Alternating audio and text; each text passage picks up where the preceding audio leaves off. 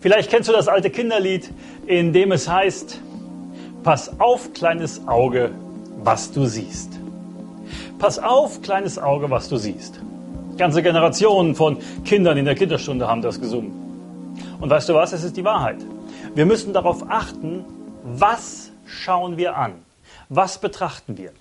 Gerade in unserer Mediengesellschaft mit dem unglaublichen Informations-Overkill ist es wichtig, dass wir sehr genau darauf achten, was betrachten wir? Was schauen wir an? Wem gestatten wir, dass es durch unsere Augen in unserem Inneren etwas bewirkt?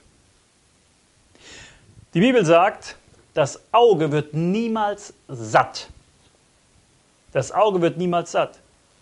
Menschen, die an Pornografie gebunden sind, die können sich das betrachten und betrachten und betrachten. Es wird niemals satt, es wird niemals reichen.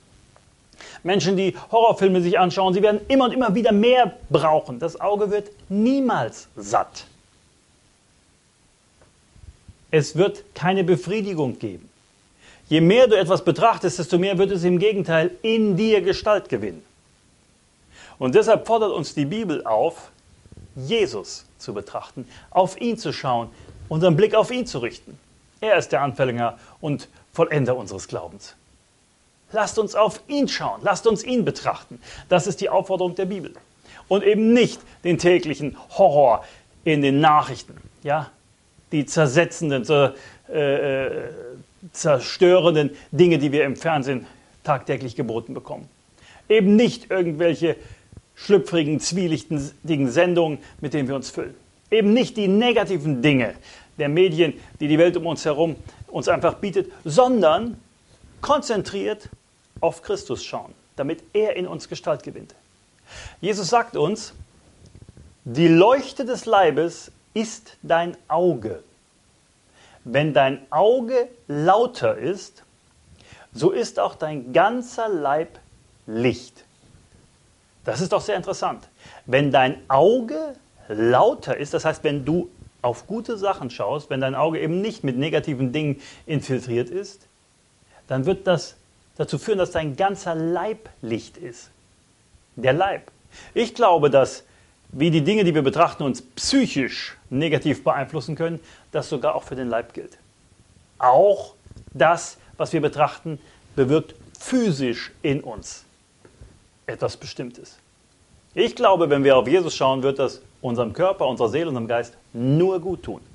In der Bibelstelle heißt es weiter, wenn es aber böse ist, nämlich das Auge, so ist auch dein Leib finster.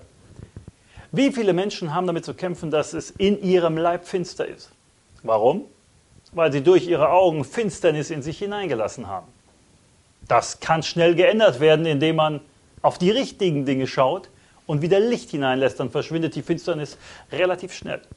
Weiter heißt es, sieh nun zu, dass das Licht, welches in dir ist, nicht Finsternis ist.